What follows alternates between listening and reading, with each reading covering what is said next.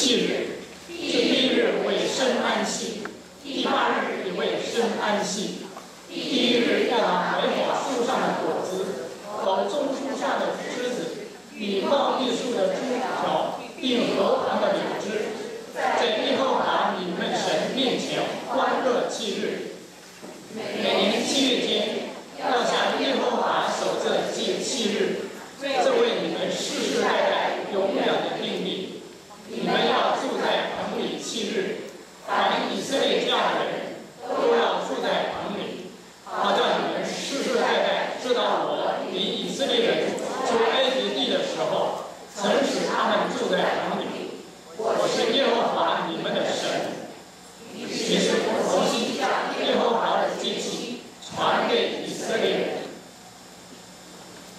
好，下面我们把时间交给牧师。